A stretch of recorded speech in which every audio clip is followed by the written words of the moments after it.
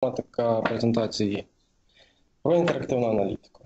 І е, зазвичай з нею пов'язані якісь компроміси, коли ми, е, коли ми згадуємо якісь наші відомі нам солюшени, відомі підходи. Давайте спробуємо е, пробігтись, подивитись, що можна, що можна знайти, чи в принципі щось можна знайти більш-менш без компромісів. І е, напевно, перше почнемо в принципі з Interactive аналітики. Що це таке? Просто синхронізнутися. Як приклад, приведу один з запитів. Це такий initial requirement одного з клієнта, який прийшов на сер. І е, тут буквально такі найбільш критичні critical requirement, тобто це subsequent reporting interaction, uh, hundreds of terabytes of data, ingestion throughput 250 тисяч рекордів в секунду. Ну і, звісно, data freshness, дані доступні для репортингу, як вони поступають, real-time дані. Так? Uh, Ну, зазвичай, що ми тут робимо? Починаємо спілкуватися з клієнтом, е, з'ясовувати, що насправді йому потрібно, і і в даному випадку теж, е, теж так все і вийшло. Реквайменти спустились там з 250 тисяч до 50, і по волюмах, і е, інтерекшени до 3 секунд, деякі там до, до 10. Разом з тим, коли коли зустрічаємося от, е, з якимись такими запитами, така думка з'являється: ну, а що ж ти, що цей клієнт думає? так? Не знаю, як у вас, але в мене якась така картинка вимальовується. Щось такого плану. А, Так, в мене щось контроль. Ну, то чекай, це нормально. Ну що, хотіти, щоб все було швидко і красиво. А що тут е, дивного? Безперечно. Гаразд. Давайте тоді трошки так е, у загальному рекламенту, тобто величезні обсяги даних. Тобто е, це такі якби інпути для для нашого workflow, на які будемо орієнтуватися, щось з'ясовувати. Дані доступні відразу для репортингу. І інтерекшени, ну, ключове, напевно, інтерекшени. Тому що в нас е, юзери, хто е, зазвичай якийсь аналіст.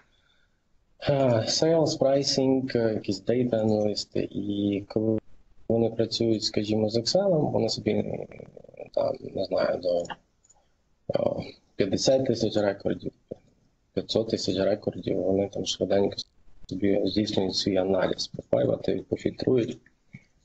Ну, коли вже завантажить там під 5 мільйонів, звісно, це вже це вже нікуди не йде. І чому не йде? Трошки про теорію. Тобто, в нас є дані зліва, справа knowledge. Це такий скрін зашарений університетом Меріленда. І що відбувається між тим? Відбувається якісь user інтерекшени, якісь візуалізації. Якщо є data mining, автоматизація, звісно ж, класно. Ну, Це якщо там дані складніші. Та? Якщо простіші, то можна а, замоделити дані, і тут нічого складного. Але в будь-якому випадку, якби процес а, він ітеративний, і для того, щоб він був ефективний, нам потрібні просто необхідні швидкі інтерекшн. І загалом процес, ну, гарне слово підібрали, сенсмейкінг. Якщо так детальніше розглянути, ну, доволі простий. High-level overview, замент фільтрів і деталі. І назад. Чому назад? Може хтось забув, де було, ну і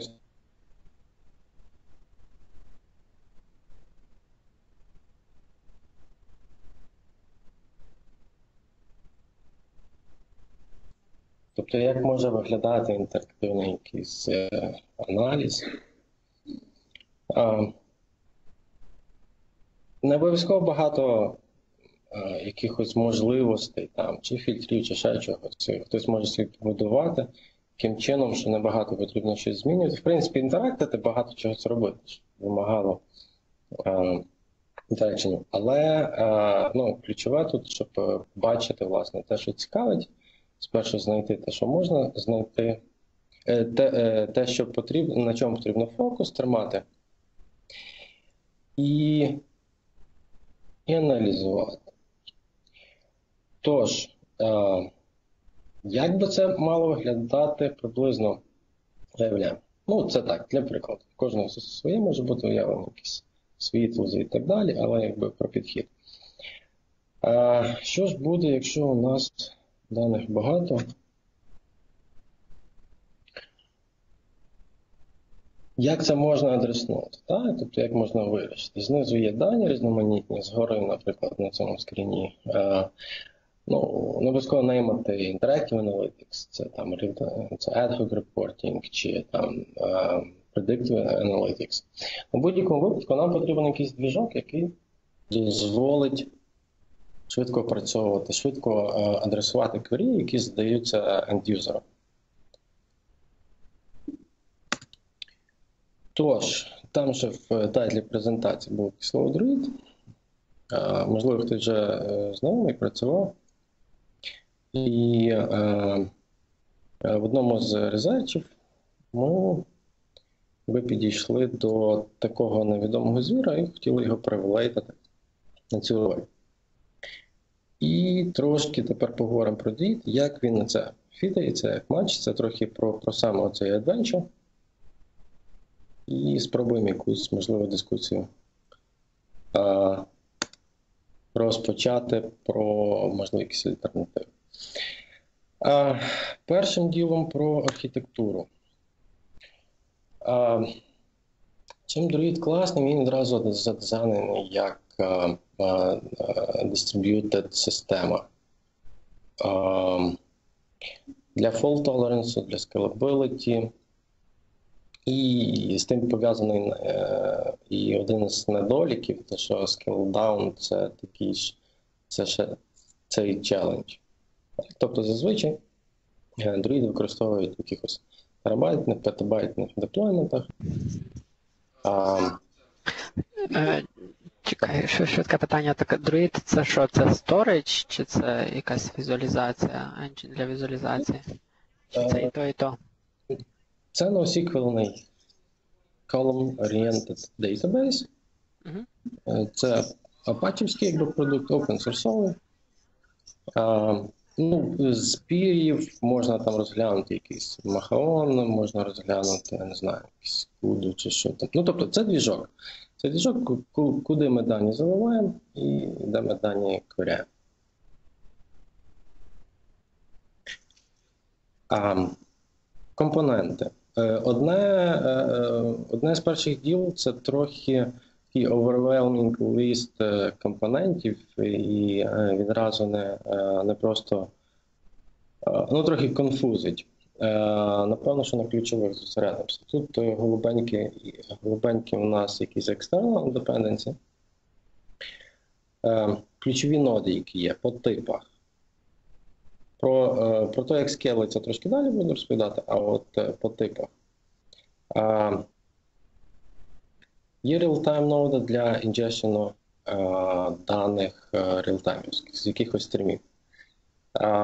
Є альтернативні реалтайм ноди, тому е, тобто е, цей проект він так динамічно розвивається і як виглядає, ну сама архітектура теж змінюється, консолідується про roadmap, теж згадаємо. А реалтайм нода вже трошки відходить, тому що вона е, в плані Надійності трошки відстає наступникам молодшим. Зокрема, це є е, Kafka Ingestion е, Indexing Service, який е, має Kafka клієнта. Ну і звичайно, що працює просто з кавкою за за пул методу. Реалтаймівська трошки гірше в цьому плані. Ну, в будь-якому випадку, тут що важливо, що це для real-time е, data ingestion. Є ще е, batch ingestion. Е, а дані далі індексуються, компресуються, відправляються в Deep Storage. Deep Storage ізольований. Deep Storage може використовуватись якийсь external storage, типу S3, HDFS, чогось іншого. Що в нас ще? Historical ноди це куди вже вантажаться сегменти з Deep Storage. Тобто, коли є вже дані за якийсь період готові, скажімо, там за місяць часу, вони вантажаться на historical ноди, і вони виступають фактично такими read-only е, датабейсами для кверяння. Кверяються не вони напряму, а крізь брокер-ноди. Брокер-ноди це у нас на фронті.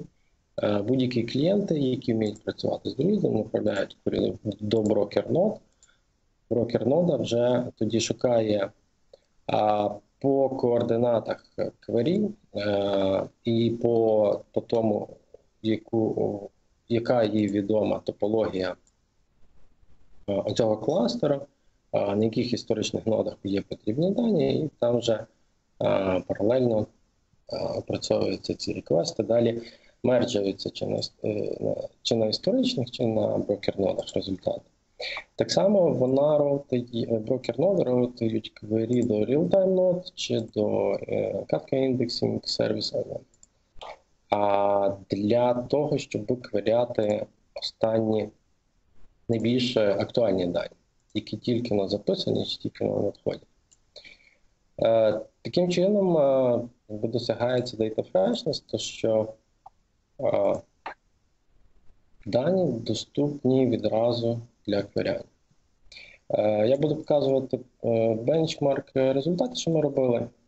І справді, ну, це справді кидається в око, що коли там навіть терабайт даних і швидкий запис відбувається дані майже ну, на око там, за секунду я вже бачу на reporting ті дані, які записали в Кавку. Zookeeper у нас для координації, тобто е, для метадата сегментів. Координатор управляє джобом зазвичай, тобто в основному на запис. Він координує, на якій ноді підняти, стартанути ворки, почати писати з якогось там кавка партишену, чи з репліки, чи ще щось. MySQL використовується, е, я підозрюю, крім тобто там і Postgres може бути, я думаю, там через ODBC можна щось інше підключити. Буквально якихось 6 табличок. Е, саме основне призначення це чекпоінти для Exactly Once Delivery, для гарантії. А що тут ключове, як воно досягається? Ми коли хендофимо сегмент в Deep Storage ми в одній транзакції прописуємо чекпоінт е, MySQL. Проходить, то проходить, не проходить, то не проходить, ми починаємо наново вичитувати. Друїд вичитує з кавки сам, там консюмер не не управляється кавкою, друїд сам е, сам свій е, position log контролює. Тому тому такий підхід для гарантії доставки меседж. А може які питання?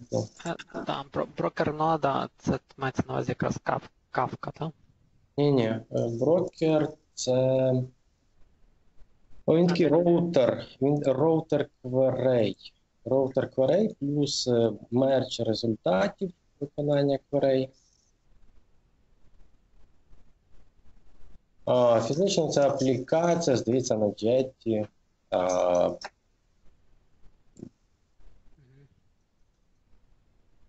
Чекай, ну ти згадував кавку, тобто вона тут зображена? Ну, чи тут мається. Е, тут вона не зображена. Е, а, але це частина Druid фреймворку чи ні? Чи це окремо? Просто а, не зрозумів. Коли я почав real-time ноди, е, це один з типів. Він призначений для для роботи з ну, власне, для, для, для роботи з стрімами. Є альтернативні, є альтернативна типу нод, яка виконує ту ж функцію. Е, це є Kafka Indexing Service, який, в якому зашитий клієнт Kafka. І, ну, відповідно, він вміє працювати з Kafka.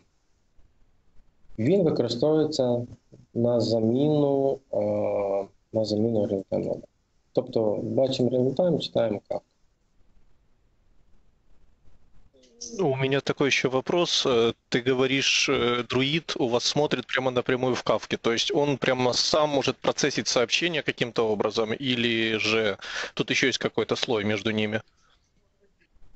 Він напряму, так, є клієнт, ну, тобто програмно реалізований клієнт кавківський, який працює як будь-який інший кавківський клієнт а, Ну. з кафеботером, так? Е, Єдине, що брокер не управляє, не контролює е, позицію е, клієнта друїдівського, друїдівської е, кавки клієнта. М, Брокер, который Kafka брокер не Так, контролирует. так, так, так. Ну, он, я понял, он не сабскрайбом идет, а assign, по-моему, да, там метод, когда ты сам можешь контролировать. Ну, все ясно, спасибо Мгм. большое.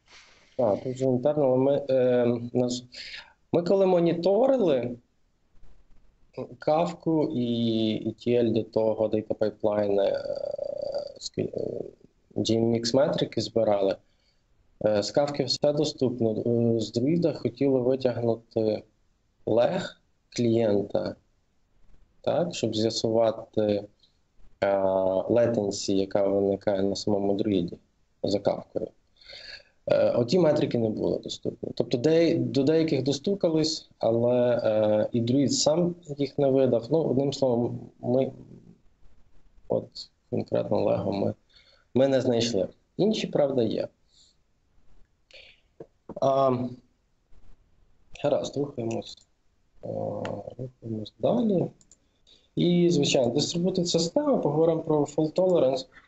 Е, По типах нод. Е, Історичні координатор, service. Е, Тут, е, тут є е, таких 2-3 е, common паттерна, тобто, скажімо, брокери, координатори hot failover. Тобто ми вибираємо, скажімо, там два координатори, коли хочемо забезпечити. Ноди робочі, типу історикалів. Е, Коли вони вилітають з кластера, це не проблема, тому що е, ми можемо просто зареплікувати дані і ну, підходимо стандартним ratio 3. Так? Тобто, якщо у нас три ноди, одна вилітає, нічого страшного немає. А, historical index, е, Deep Storage окремо, е, Fill Tolerance якийсь або якимось хардверними засобами, або там S3, скажімо, або, або там HDFS.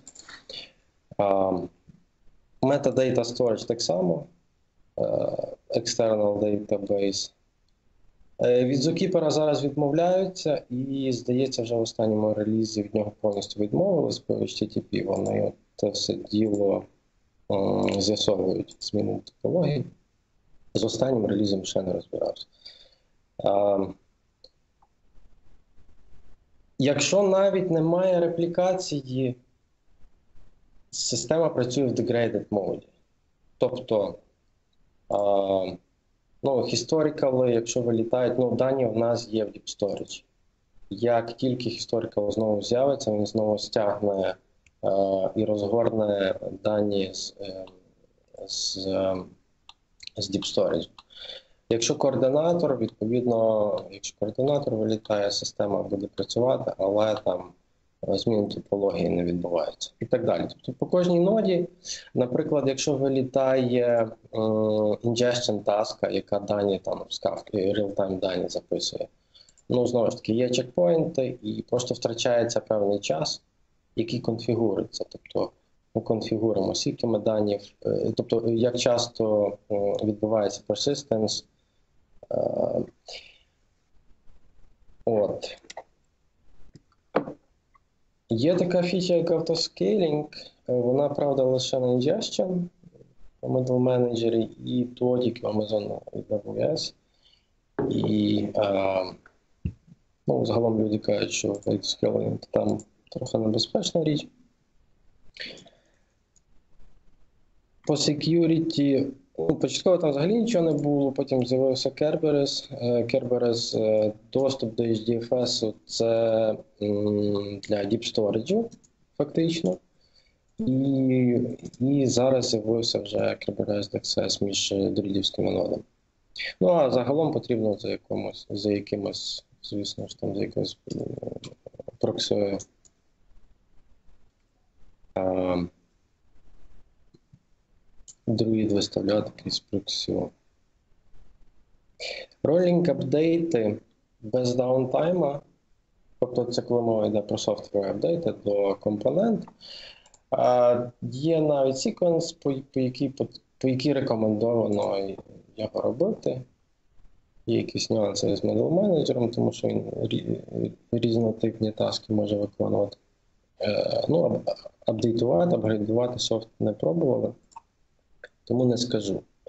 По roadmap вони і хочуть далі імпровнути Exactly Once Delivery, це що стосується Kafka Ingestion сервіса, і повністю відмовляться від, від тих real-time нод. А, і, ну, звичайно ж, замержити ті компоненти з 8 до 4. А, Flaggability – це такий плюс друїда. Тобто, в нас є core компоненти, і він дуже. А, існує ком'юніті екстеншени на різноманітну тематику, на різні з різним функціоналом. Тобто, це можуть бути якісь методи компресування даних. Скажімо, щось взяли там, е, не знаю, з безфрексів з еластика, щось взяли там е, з чогось іншого. Ну, це у нас open source, і е, саме основне, що це все можна гарно підключити екстеншенами і потім просто використовувати. А, Ingestion, компрешени, якісь агрегації, якісь е, там навіть типи, типів колонів, е, тобто він, він такий extensible. Як нас почати? А, все буде. По Data Ingestion трошки детальніше. Е, Взагалі, е, конфігурувати Druid потрібно багато.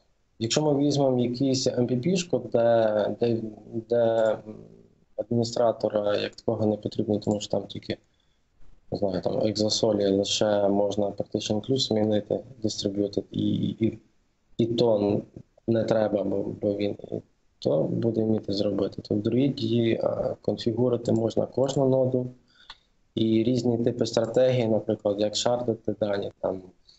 А, чи по якомусь ключу, чи по розміру, чи по. Ну, тобто є різноманітні стратегії. Е, Що найскладніше, відразу не зрозуміло, куди податись, який підхід вибрати. Що допомагає, це ком'юніті, трохи розробники. Ну, Взагалі, е, сам код, якби написаний на Java, основний е, Meta, MetaMax компанія, його open source лише в 2006 році, так трошки історію згадаю. Вони клік, клікстрім е, аналітикою займаються, тобто там багато у них даних пробігає, і реально multi-tenant environment з допомогою друїду імплементували, який дозволяє от, е, з величезними обсягами даних працювати. І вони е, спершу і підтримували друїд. Зараз е, з'явилася компанія Imply, яка а, вже дещо комерційна, тобто там і підтримка комерційна з'явилася, і репортінг тулза з'явилася, яка працює з друїдом, яка теж вже, на жаль, стала не ставши ще нормальною, вже стала платною. А, для того, щоб ви почати, в принципі, записувати дані в Druid, нам потрібно задати якийсь мепінг легенький е, вигляді JSON, тобто працюємо повністю з командлайном, працюємо з JSON, працюємо на ну, такий хардкор. А, а, Стандартні типи даних тут я навіть не- сильно буду згадувати, є лише е, деякі відмінності. Тобто Е, У мене наступні слайди йдуть про якісь відмінності, чи про цікаві речі, чи щось таке, що якби, Ну, варто згадати. Е, Речі стандартні, що зустрінуться в інших е, платформах, я так трохи пропускаю. Е, Звідки дані ми можемо брати, в принципі, для Druid? Звідки фідити, звідки інжестити? Тобто є local файли, batch ingestion, HDFS, тут лише batch ingestion. HDFS, застріл, локальні файли, чи якісь ремонтні файли. Є Kafka Pool і push метод. Про pool я вже згадав про Kafka Indexing Service. Є ще push.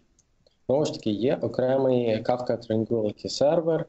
Це попередник Kafka Indexing сервісу. Він використовує push, тобто е, між, е, між стрімом і е, друїдом є ще окремий сервачок, який потім пушає дані з кавки в друїд. Е, Він теж вже такий майже legacy. Тобто хтось ще, хто має в production deployment, його підтримує, але від нього теж відмовляється. Е, Є, е, можна знайти екстеншени для Storm, для Spark стрімінгу. Ну, тут, тут я рекламувати не буду. Тут, я не знаю в якому стані, наскільки якісні, як вони працюють, але якби є. Дані можна апдейтувати, але як е, показала практика, це, це доволі неефективно порівняно з, з іншими операціями, які Druid ефективно виконує. Тобто є, в принципі, Hadoop Batch е, де можна реіндекснути сегменти існуючі, тобто змінити гранулярність, наприклад. Е, або такий incremental ingestion, подописувати якісь late event. Ага, між іншим. Е, в Kafka Tranquility сервері було поняття window для запису даних. Тобто, якщо, наприклад, ми записуємо останні 6 годин, то late івенти е, просто скіпаються. Так? З Kafka Indexing сервісом такого обмеження немає, можна писати дані, в принципі, з будь-якого тайм-періоду. Ну, оцей Delta Ingestion він е, такий доволі неефективний. Е, Druid класно мачиться в класичну лямбда, архітектуру. А, тобто ми хочемо швидко отримати результати, їх аналізувати, пишемо стрімом. Е, Exactly once е, delivery гарантується, але є нюанси.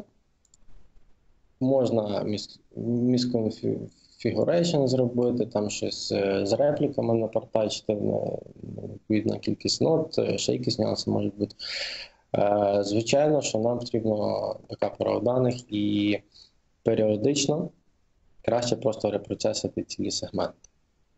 Е, Вони потім просто свапаються, там сегмент вершенінг деякий актуальний.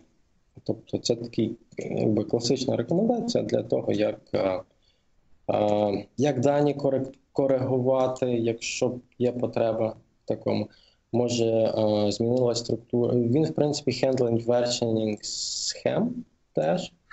А, тобто можна додавати, е, можна навіть on-hot робити зміни до моделі даних, тобто там додавати якісь колоночки, будуть колоночки з'являтися, так? А вже в нових меседжах. Старих їх не буде. Ну, будуть нули. Ну, тут якби так. е, доволі просто. Е, Data retention е, класно працює. Є роли, є тари. Є поняття тайрів, тобто, якщо у нас е, є кластер друїда, скажімо, якихось там 20 нод історичних, ми можемо погрупувати їх по тайрах. Мовно кажучи, hot, cold, warm, а, заасайнити різну кількість нод до тих тайрів, і тоді можна визначати роли на основі або на основі тайм-періоду якогось. Наприклад, вантажити найсвіжіші дані там за останній місяць в hot tire, а там п'ятирічні дані в cold tire. Чому hot cold? Е, Тому що ті тайри е, відповідно можна е, балансувати кости до перформансу.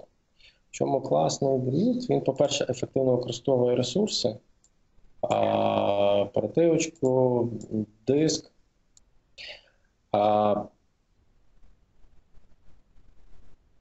Ми можемо, тобто Chain Memory Database, е, це mapping юзається, і е, дані вантажуються в off-heap memory, як і я зараз покажу діаграмкою.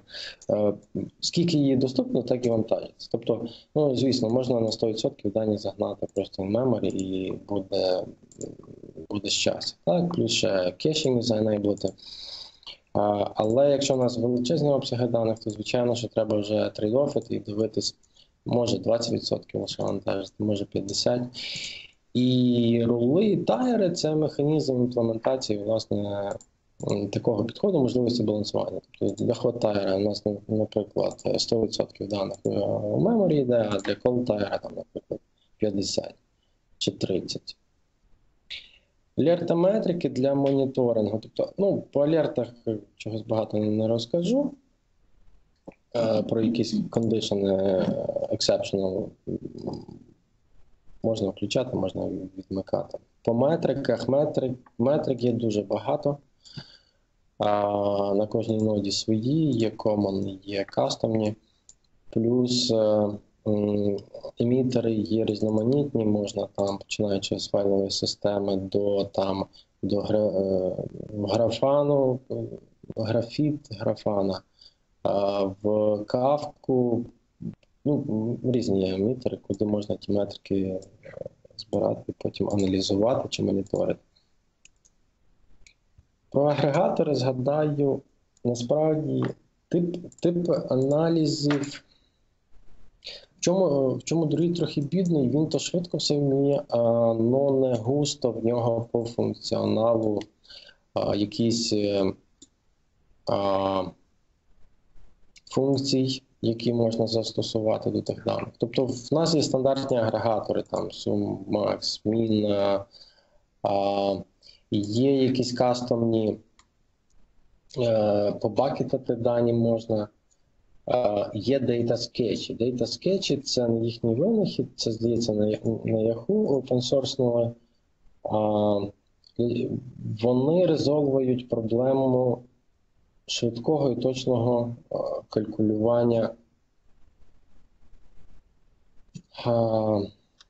distinct countів.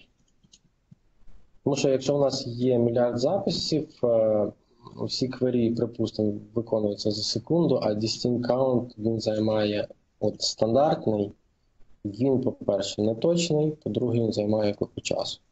І data sketch це додаткові структури, які під час інжещену ми просто вказуємо, що створювати, наприклад, distinct, е, тобто я хочу додати нову колоночку, щоб другий мені калькулював distinct там для не знаю, для юзерів, для продуктів чи для чогось іншого. Е, недолік тут який воно займає багато місця. В нашій е, не, доволі вузькій схемі, яка у нас там була, е, воно додавало десь половину по волюму. Тобто лише одна колоночка, distinct count, Data скетчівський додавав. Е, Щоб зорієнтуватися, якщо у нас компрешн даних був е, порядка у 8 разів е, сорсових до таргет даних на Android, то з, з цим додатковим Sketch він нас спав до трьох чимось. Ось, тобто швидкість, пост, по-перше, space, по-друге, ну, звичайно, це і в рамку піде. Dimension, крім стандартних, е, дозволяють, е, дозволяється будувати такі, е, ну, не самі страчі, але як мінімум арейчик в Dimension можемо записувати. Тобто, наприклад, якщо там список тегів чи ще чогось. Uh, extraction function, lookup. Про lookup трошки більше розповім, тому що тут є декілька типів. Uh, одну річ згадаю. Тут join не про квері трохи буду говорити. Так, Джойнів на друїді нема, тут рекомендовано денормалізована, денормалізовані великі тейбли, широкі, це column oriented database. Тобто не можна причепити якусь там Impala або якийсь інший Computation Engine з SQL інтерфейсом? Ем, причепити куди? Ну, до цього сториджа. Ну, немає та інтеграції з якимись е, SQL-ними інтерфейсами. В нього в останньому релізі з'явився.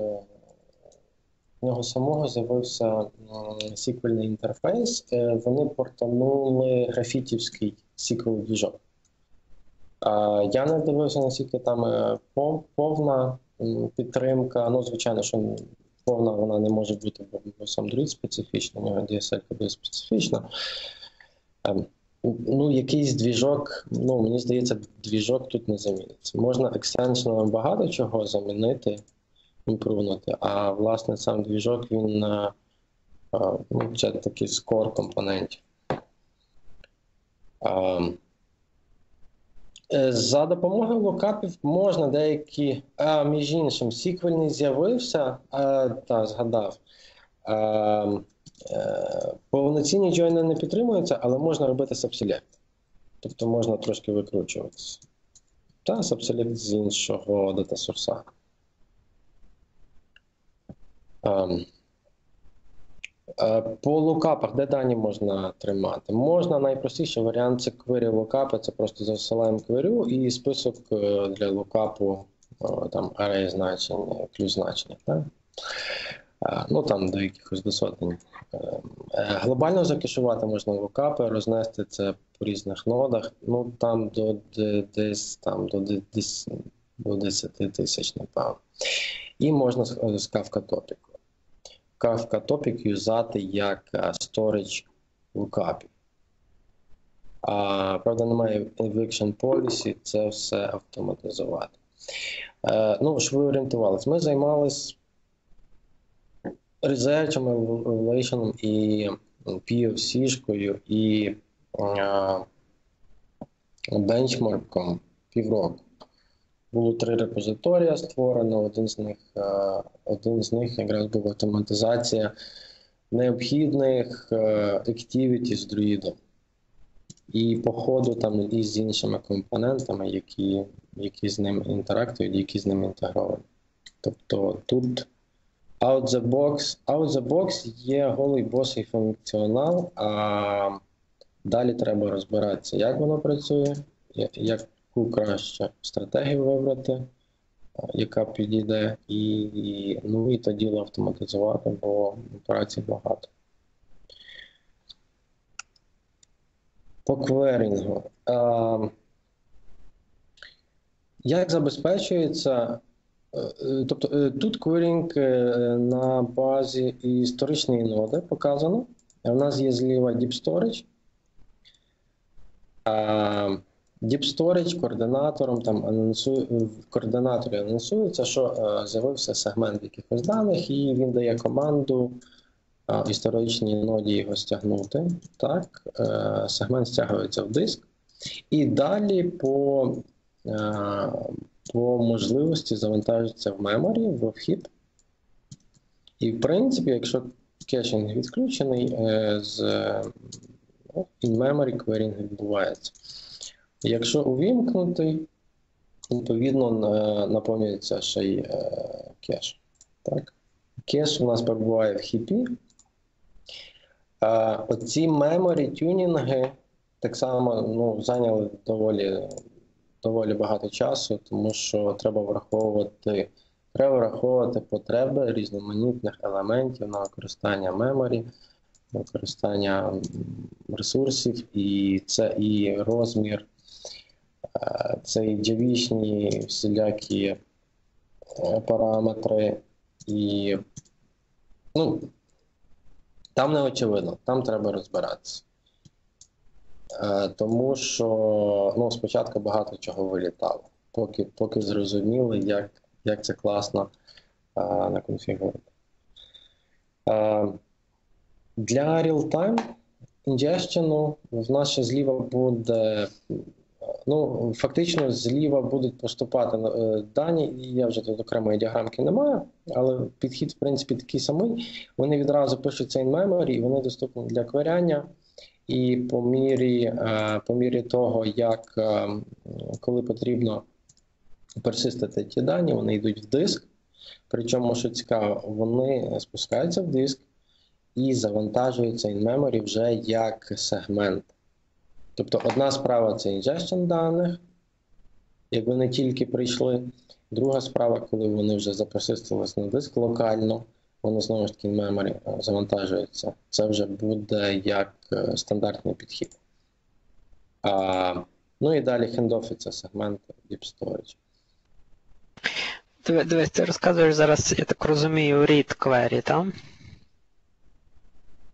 Е, так, оце, оце є рід А в тебе буде ще про врайт чи ні? Не буде. Окей. Е... Чекай, що забув, хотів, хотів, хотів запитатися. Ну, окей, ладно, дякую. Ну, тобто, е, А, так, я згадав про write query. Тобто там теж є якісь е, спочатку в memory, і потім на диск, і відповідно компакшени, потім. Я власне так. Я, я власне останнє в принципі розказував різницю про write. Так. А, спершу in memory, і вона не компресована, доступна для читання. Е, тих даних небагато. Тобто це пакетами ті дані пишуть. Тобто е, все визначається під час моделювання. Е, створюється ingestion task, така JSON, де ми задаємо схему даних, які, наприклад, у нас є Kafka Topic. Ми кажемо там атрибути, там метрики, там сторінги, нумерики і так далі. Далі ми тюнемо, як з ними працювати запис. Що ми визна... Які є варіанти? Ми можемо сказати, скажімо, по 5 мільйонів записів. Ми, ми визначаємо е, сегментацію. Сегментація може бути різна. Може бути по кількості е, даних, наприклад, там 5 чи 10 мільйонів, чи 20 мільйонів на сегмент, і далі створюється новий сегмент. Е, може бути по якомусь ключу, там, е, якщо є такий dimension. Е, може бути по сайзу, тобто взагалі найкраще по сайзу орієнтуватися, і, і це, це доволі складно зробити. Є рекомендований для друїда розмір сегменту, це в районі від 300 до 500 до 700 мегабайт, ну до гіга. Тобто це якихось там 10 мільйонів гривень.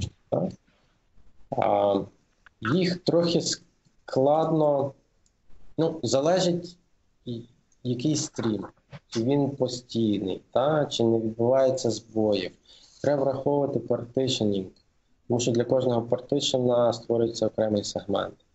І в результаті ми е, багато сегментів в нас все-таки е, в цей рекомендований діапазон по сайзу потрапляло, а, але, але далеко не. Ну, взагалі сегмент це якась одиниця на, на диску, та, в пам'яті. Так. Е, І це, типу, е, це поколонкова, ти казав, сторіч, та? Тобто це Так. якби для одної колонки, для кожної колонки є набір сегментів. Е, Правильно? Ем, це типу шарда. Це Угу. ем, ну, найпростіше це по часу. Ми визначаємо гранулярність, наприклад, місяць чи день, чи там рік. Так, і для кожного року створюється свій сегмент. І сегмент містить відповідно е, кожну колоночку окремим файлом. Проіндексовану, скомпресовану, і там ще буквально два файлика опису, метадати разом з ним. А що є поняття сегменту в HDFS? Е, ну, це факти... це, тобто робота з про- проста. Прийшов, поклав, забрав. Тут файлик скинув, забрав. Це просто, е, це просто бекап скомпресованих даних, але суть в тому, що він постійно доступний. Як в нас е, е, вилітають historical ноди, наприклад, з'являються нові, вони, вони беруть, е, вони, вони забирають дані. І коли вони вже в себе розгорнуті дані, вони доступні для квиряння. Тобто EDFS або S3, або будь-який інший storage, який підтримується, е, там е, NFS є extension. Е, в, е, Це просто, це просто бекап даних друїдівських, скомпресованих, проіндексованих. Тоді виходить, що ти можеш забезпечити перформанс тільки для субсету даних. Ну, маю на увазі а, query time. Subset. Ну, subset е, тут е, 100% даних. Е, Ну, Я звичайно чому я питаюся. Тобто я так розумію, що на е, Deep Storage зберігається повний даних, і частину, то якби субсет е, з цього Deep е, зберігається на historical ноді. Ну так, але нот в тебе більше. Ну, скажімо, в тебе Deep Storage один з 10 сегментами. В тебе може бути е, там три ноди, і кожна з них там по 3 по 3-4 сегменти собі залоджує. Плюс там ще replication, то ще множимо на 2. Тобто, А, ти сказати, що повністю весь субсет, який ми зберігаємо на HDFS, він є присутній на historical node. Ем, ну тут retention policy. Можна насправді е, в Deep Storage писати всі, е, тобто навіть не видаляти. Так, а в нас по retention policy, наприклад, rolling 5 років. І е, ті сегменти в Deep Storage, які вже там 6-7 рік, вони просто зберігаються там, але вони вже в кластер не, не, не завантажуються. Вони вже не будуть кверятися. А, гаразд, давайте, мабуть, рухаємось. Тут вже небагато залишилось. Е, Query типи. Про query типи я трошки сказав. Time series. Це найшвидші. Це коли ми по, ну, фактично по часу хочемо розкласти якісь метрики. Топ-N теж швидкі, грубаї у нас повільніші. Е, Грубаї, в принципі, не проблема. Є воркараунди, наприклад, оця тулза від Imply вміє переписати е, ну, практично кожен грубай, використовуючи TPN чи Time Series query. Просто розробити, зробити їх більше. Є серчі, декілька типів, там і по Regix, і по ну, доволі, в принципі, базові серчі. Про Join я згадував. Про бенчмарки. Е, Трішки про environment. У нас було 6 серверів. 4 вісьмірки і 2 на 24 процесора.